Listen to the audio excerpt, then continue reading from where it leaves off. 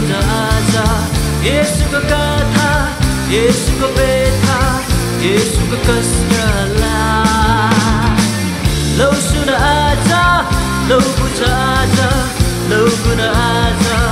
लौ सम्झ आज। यसुको कथा यसुको यसुको कष्टलाई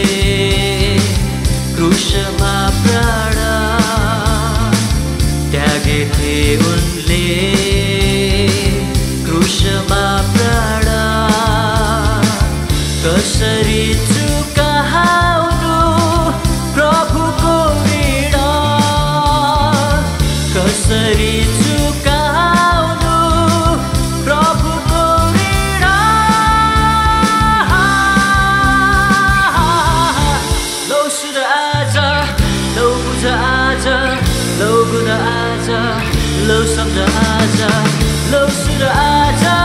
लौ आज लौ गुण आज लौ आज कथा यसुको व्यथा